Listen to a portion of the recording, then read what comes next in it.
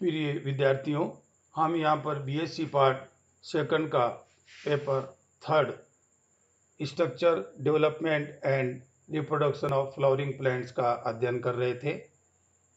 इस पेपर के अंतर्गत हम टाइप्स ऑफ़ टिश्यूज यानी पादप शरीर में पाए जाने वाले उत्तकों के प्रकार पर चर्चा कर रहे थे। हमने पिछले लेसन में ये देखा कि पादप में पाए जाने वाले उत्तक दो प्रकार के होते हैं। एक, मेरिस्टमेटिक टिश्यू, यानी विभाजोत की उत्तक जिससे मुख्यतः पादप का प्राथमिक शरीर निर्मित होता है। नंबर दो, परमानेंट टिश्यू, यानी स्थायी उत्तक, जो कि विभाजोत की उत्तकों के बाद में निर्मित होते हैं। परमानेंट टिश्यू या स्थायी उत्तक का वर्गीकरण हमने पढ़ा है। हमने देखा कि पादप शरीर में ये तीन प्रकार के स्थायी उत्तक पाए जाते हैं। सिंपल परमानेंट टिश्यू यानी सरल स्थायी उत्तक। कॉम्प्लेक्स परमानेंट टिश्यू यानी जटिल स्थायी उत्तक।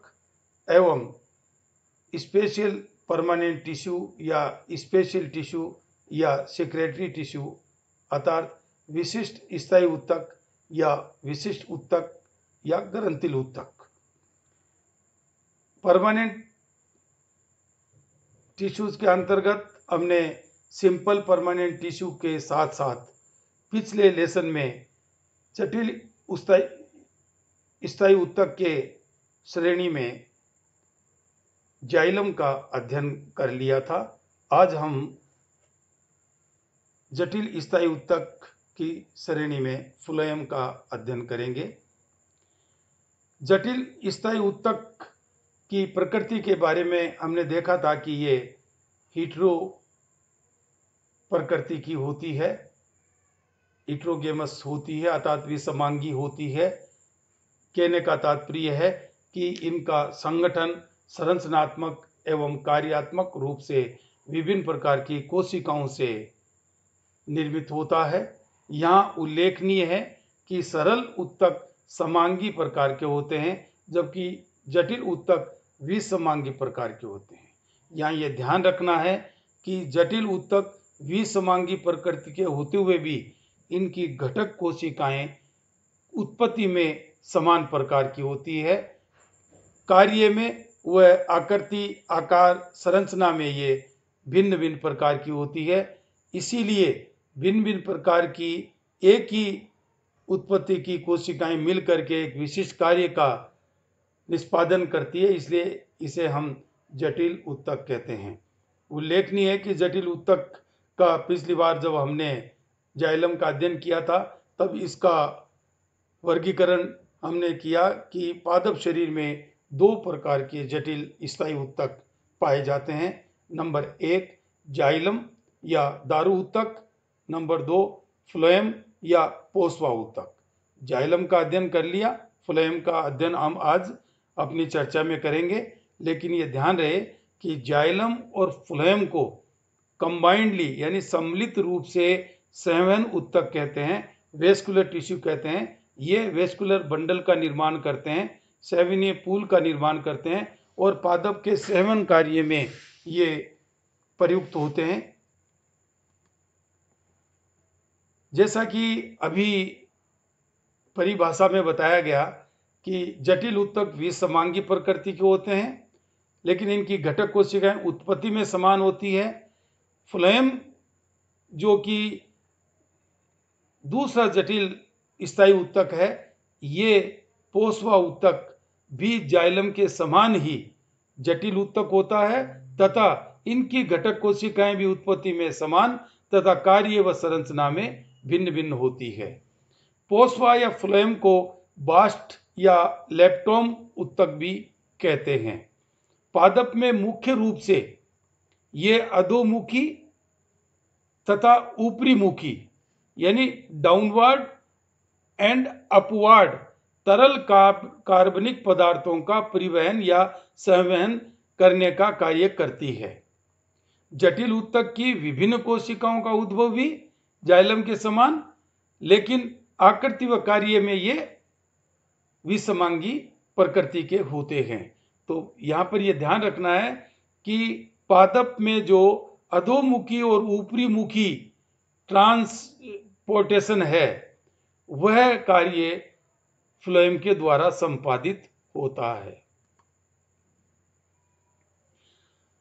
फ्लोएम या पोस्वा की पादप शरीर में स्थिति, ये पादप शरीर में जाइलम से संबंध रहता है।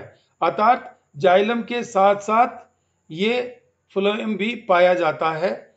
अधिकांश पादपों में सेवन पूल में फ्लोएम बाहर परिरंभ की ओर स्थित होते हैं। अर्थात पित्त की ओर जाइलम अवस्थित होता है और उसके बाहर की ओर उससे सटा हुआ ये फ्लोएम जो है वो स्थित होता है।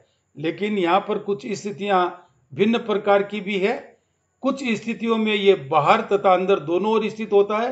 जैसा कि हमने कुकुर बिटेसी का स्टेम काटते हैं तो हमें पता चलता है कि जाइलम के दोनों ओर फ्लोएम पाए जाते हैं। ऐसी स्थितियाँ एस्किलपिडेसी, सोलेनेसी, एपोसाइनेसी आदि में भी देखने को मिलती है।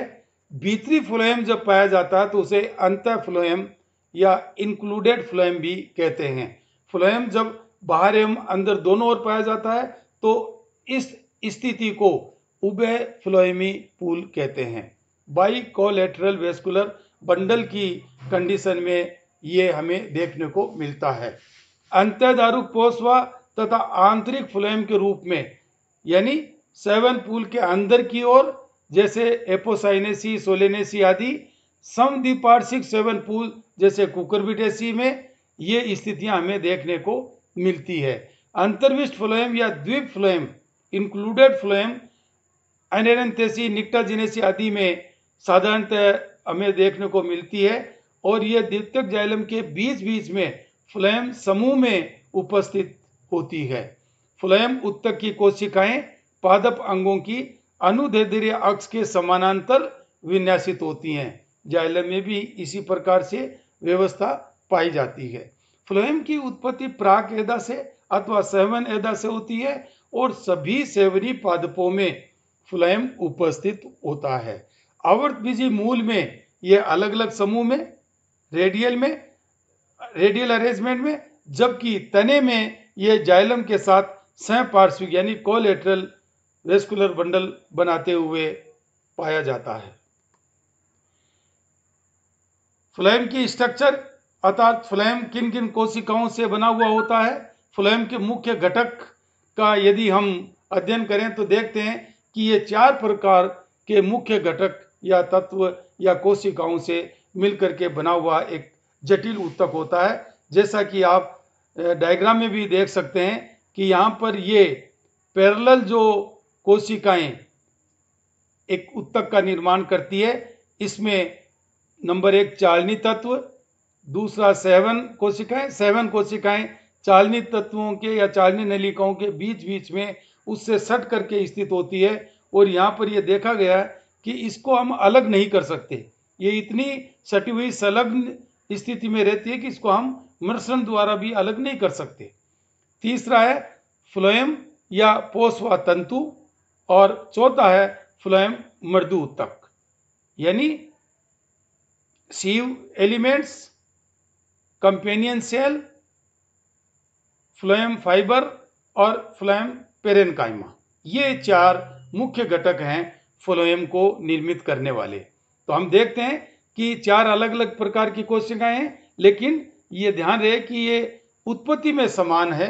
अब यहाँ पर कार्य और संरचना में ये अलग अलग दिखाई देते हैं। जैसे आप यहाँ देख सकते हो, ये जो है वो चालनी तत्व है? यानी नलिका जो बनती है, वह है। यहाँ पर आप देखेंगे कि ये कंपेनियन सेल है और यहाँ ये पेरेन कायमा की जो है वो कोशिकाएँ दिखाई दे रही हैं।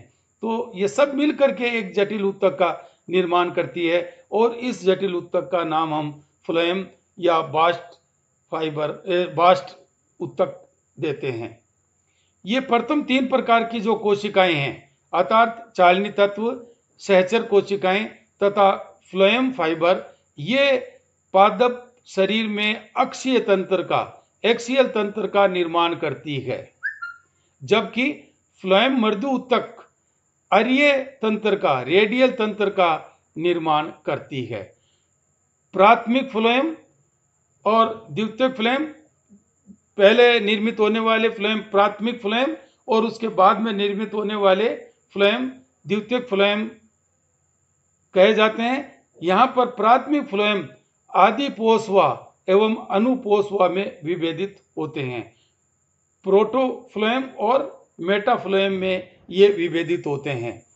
अनावर्तविजी पादपों में जो चालनीय क्षेत्र है, वह सुस्पष्ट नहीं होता है। यहाँ पर हम देखते हैं कि ये जो चालनी नलिकाएँ हैं, इसके यहाँ पर इस प्रकार की जो प्लेट बनती है, ये चालनी क्षेत्र कहलाता है। और यहाँ जिन्मोस्पम में इस प्रकार की प्लेट सुस्पष्ट नहीं होती है। निर्मित होती है, लेकिन सुस्पष्ट नहीं होती है। अनेक अवर्त पादपों में भी आदि पोषवा में चालनी कोशिकाएँ तो स्पष्ट होती हैं, लेकिन सहचर कोशिकाएँ नहीं पाई जाती हैं। ये कंपेनियन सेल जो है वो remains absent in some angiosperms आदि पोषवा यानी प्रोटोफ्लोएम जो है वो कुछ ही समय तक सक्रिय रहता है। ये चारों प्रकार की कोशिकाएँ, जो कि फ्लोएम के मुख्य घटक हैं, ये इस प्रकार से व्यवस्थित होकर के और जटिल स्थायी उत्तक फ्लोएम का निर्माण करती है। चालनी तत्व यहाँ पर हम अध्ययन कर रहे हैं और ये दो प्रकार के तत्वों से मिलकर के बनता है। यानी चालनी तत्व बनाने वाली दो प्रकार की संरचनाएँ होती है। एक को हम कहते हैं चालनी कोशिका। शिव सेल, और दूसरी को हम कहते हैं चालनी नलिका, शिव ट्यूब्स। चालनी कोशिका, ये एकक कोशिकाएँ होती हैं, इनमें चालनी पट्टिका नहीं पाई जाती है, शिव प्लेट्स नहीं पाई जाती है, तथा चालनी क्षेत्र सभी भित्तियों पर समान रूप से विकसित होते हैं। चालनी नलिका, ये नलिका कोशिकाओं के एक के ऊपर एक व्यवस्थित होने से बनती है तथा चालनी कोशिकाएँ दीर्घित व बेलनाकार होती हैं।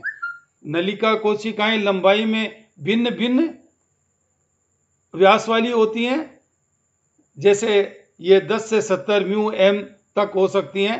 अनावर्त बीजी पादपों में इनकी व्यास जो है वो बहुत अधिक और लंबाई बहुत अधिक होती है, जैसे ये 1400 से 4800 म्यू एम तक हो सकती है। जबकि आवर्त बीजी पादपों में इनकी लंबाई 500 म्यू एम तक पाई जाती है। तो यहाँ पर व्यास में अधिक भिन्नता नहीं है, नलिका कोशिकाओं के, लेकिन लंबाई में ये बहुत अधिक भिन्न होती हैं। चालनी पट्टिका चालनी पट्टिका, चालनी नलिका की वह भित्ति जिस पर छिद्र युक्त चालनी क्षेत्र होते हैं, यानी चलनी बनती है। जैसे हम घर में छान छानने के लिए चलनी प्रयोग करते हैं।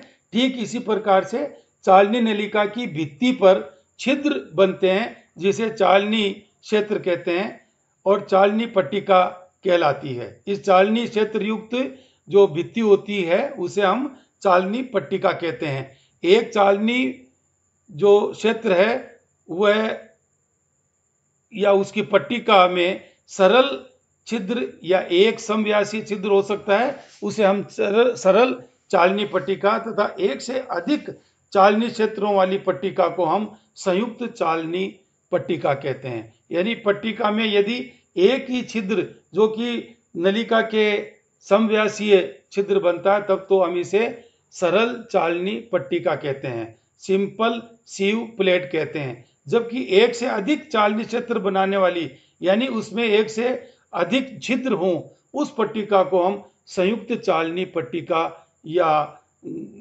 जॉइंट सीव प्लेट कहते हैं। सरल चालनी पट्टिका अनुप्रस्थ एवं संयुक्त चालनी पट्टिका तिरक होती है।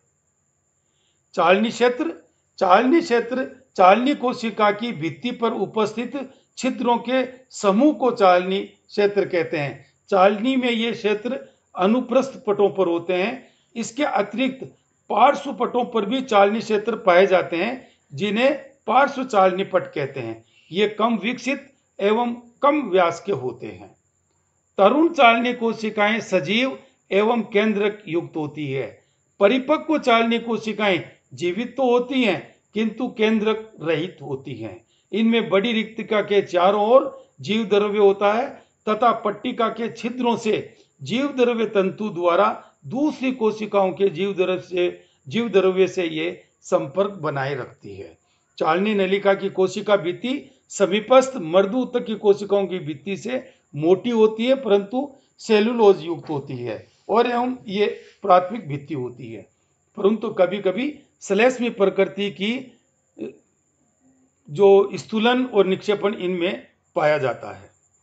यहाँ हम डायग्राम देखें, ये संपूर्ण फ्लोएम के मुख्य घटक से युक्त डायग्राम है। यहाँ पर हम देख सकते हैं सीव ट्यूब और सीव प्लेट। यहाँ अनुपस्थ भित्ति पर छिद्र युक्त सीव प्लेट है, यानी चालनी क्षेत्रों से युक्त ये पट्टिका है। यहाँ पर ये सीव एरियाज़ इस नलिका में भी हम देख सकते हैं। यहाँ पर ये फ्लोएम फाइबर जो है वो दर्शाए गए हैं। और ये एक संयुक्त चालनी पट्टिका का जो है वो काठ दिखाया गया है, किस प्रकार से इसमें छिद्र और चालनी क्षेत्र निर्मित होते हैं। यहाँ पर आप देखें अनुदैर्घ्य रूप से समानांतर में ये अक्षीय तंत्र का निर्माण करती हुई ट्यूब्स और कंपेनियन सेल तथा पेरेन काइमा जो है वो यहाँ पर एरियल तंत्र का निर्माण करते हुए हम देख सकते हैं। तो यहाँ इन डायग्राम की वजह, ये देखिए, ये पोसवा तंतु यानी फ्लाइम फाइबर के जो है वो चित्र हैं। जिसमें कि हम ये सीव एरिया जो है वो भली भांति देख सकते हैं। चालनी पट्टिका से संबंध एक कार्बोहाइड्रेट यौगिक कैलोस होता है। चालनी कोशिका के कोशिका द्रव में ही इसे संश्लेषित एवं विघटित करने वाले एंजाइम भी उपस्थित होते हैं। कैलोस संयोजकी प्लाज्मोडेस्मेटा या कोशिका द्रव्य स्टैंड के चारों ओर एक आवरण या अच्छद बनाता है। वृद्ध एवं जीर्ण चालनी नलिकाओं में केलोस अच्छद मोटा होता जाता है और अंततः चालनी छिद्रों को अवरुद्ध कर देता है, जिससे चालनी नलिका निष्क्रिय हो जाती है। शीत ऋतु में केलोस स्तर मोटा होता जाता है, लेकिन बसंत ऋतु में ये पतला हो जाता है, जिससे चालनी नलिका पुनः सक्रिय हो जाती है। जिनमो स्पम पादपों में चालनी नलिकाएँ नहीं पाई जाती है, इसके स्थान पर चालनी कोशिकाएँ पाई जाती हैं। ये अपेक्षाकृत लंबी व तिरछी अनुप्रस्थ भित्तियों वाली होती हैं। भित्ति पर कई छिद्र समूह मिलते हैं, जिन्हें चालनी क्षेत्र कहते हैं। ऐसे क्षेत्र पार्श्व भित्तियों पर भी पाए जाते हैं। परिपक्व चालनी नलिकाओं में जीव द्रव्य की प्रीदीय परत में प्रोटीनीय प्रकृति के औपंकी श्लेष्मी पदार्थ पाए जाते हैं, जो औपंक पिंड कहलाते हैं। ये एकल या समूह में हो सकते हैं औपक पिंड तरुण चालनी नलिकाओं के समूह के रूप में तथा परिपक्व तत्वों में ये धारीदार रेशों के रूप में पाए जाते हैं। इन्हें P1 प्रोटीन और P2 प्रोटीन कहते हैं। ऐसा माना जाता है कि ये P प्रोटीन चालनी तत्वों के छिद्रों को अवरुद्ध करते हैं। चालनी तत्वों का कार्यकाल यदि हम देखें तो एक बीज पत्री पादपों में चूँकि द्वितीय वृद्धि नहीं पाई जाती है, अतः केंद्र रहित चालनी तत्व जीवन पर्यंत क्रियाशील रहते हैं। द्वितीय वृद्धि वाले पादपों में निरंतर नए फ्लोएम बनते रहते हैं। अतः चालनी तत्वों की सक्रियता एक अथवा दो वृद्धि कालों तक ही सीमित रहती है। चालनी तत्वों के निष्क्रिय होने से पूर्व चालनी पट्टिका के चारों ओर कैलोस का निक्षेपण होने से चालनी कोशिकाओं का आपस में संपर्क टूट जाता है। वह पदार्थों का सेवन रुक जाता है। कुछ पादपों में मृदुत्व की कोशिकाओं से प्रचुरोद्भुत प्रचुरोद भवन भी चालनी नलिकाओं में प्रवेश कर जाते हैं। अर्थात अंदर की ओर अतिवृद्धियाँ जो है वो निर्मित होकर के उन्हें अवरुद्ध कर देती है, इन्हें टाइलोसिस कहते हैं। स्थायी उत्तक फ्लैम में अभी दो प्रकार के फ्लैम की बात की हमने, प्राथमिक फ्लैम एवं द्वितीय फ्लैम। प्राथमिक फ्लैम और द्वितीय फ्लैम में क्या अंतर होता है, ये हम देखते हैं। प्राथमिक फ्लैम का परिवर्धन प्राक एदा से होता है, जबकि द्वितीय फ्लैम का परिवर्धन सहवन एदा से होता है। प्राथमिक फ्लोएम आदि फ्लोएम और अनुफ्लोएम में विभेदित होते हैं द्वितीय फ्लोएम आदि फ्लोएम और अनुफ्लोएम में विभेदित नहीं होते हैं। प्राथमिक फ्लोएम में चालने लेनिकाएँ लंबी एवं संक्रिय होती है जबकि द्वितीय फ्लोएम में चालनी नलिकाएँ छोटी एवं चौड़ी यानी अधिक व्यास की होती है। प्राथमिक फ्लोएम में फ्लोएम रेसे फ्लोएम के बाह्य भाग में स्थित होते हैं, जबकि द्वितीय फ्लोएम में फ्लोएम रेसे फ्लोएम के भीतरी भाग में स्थित फ्लोएम मर्दूतक के साथ व्यवस्थित होते हैं। प्राथमिक फ्लोएम में मर्दूतक अल्प विकसित होता है, जबकि सेकेंडरी फ्लोएम या द्वितीय फ्लोएम में मर्दूतक सुविकसित होता है।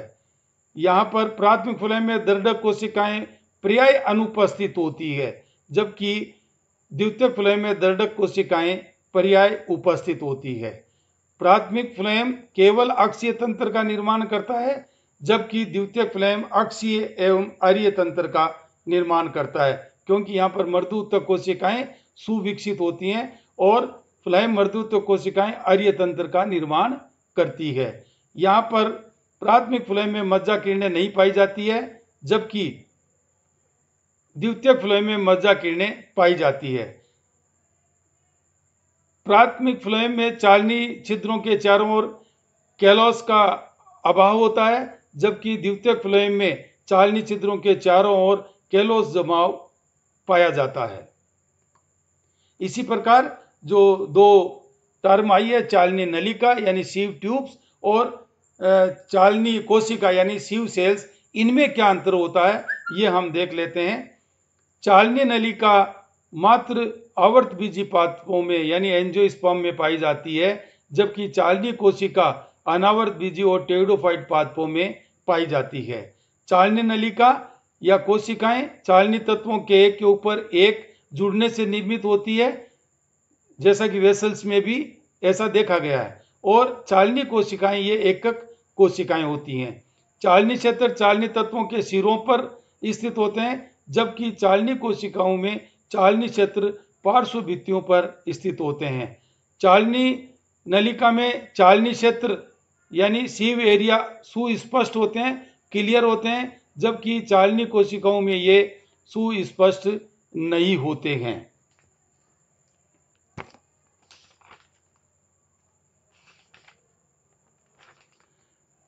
चालनी पट्टिका से संबंध एक कार्बोहाइड्रेट यौगिक कैलोस होता है। चालनी कोशिका के कोशिका दरों में ही इसे संश्लेषित व विघटित करने वाले एंजाइम भी उपस्थित होते हैं।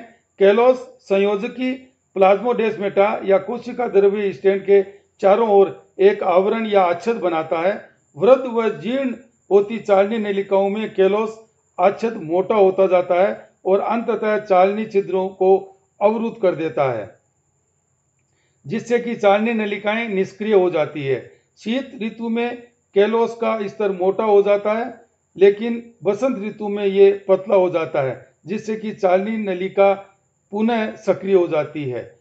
जैसा कि हम जानते हैं जिन्मोस्पम पौधों में चालनी नलिकाएँ नहीं पाई जाती हैं। इसके स्थान पर चालनी कोशिकाएँ उपस्थित होती हैं। ये कोशिकाएँ अपेक्षाकृत लंबी व तिरछी, अनुप्रस्थ भित्तियों वाली होती हैं। भित्ति पर कई छिद्र समूह मिलते हैं जिन्हें चालनी छिद्र कहते हैं या चालनी क्षेत्र कहते हैं। ऐसे क्षेत्र पार्श्व भित्तियों पर भी होते हैं। यहाँ पर यह देखा गया है कि कई बार चालनी नलिकाएँ अपने अंदर की ओर अतिवृद्धियों युक्त हो जाती है, उसको हम टाइलोसिस कहते हैं। आज का क्लास वर्क लघु उत्तरात्मक प्रश्न, चालनी नंबर एक, चालनी क्षेत्र क्या है? शिव एरिया क्या है? नंबर दो टाइलोसिस क्या है? नंबर तीन फ्लोएम में पाए जाने वाले चालनी तत्वों के नाम लिखिए।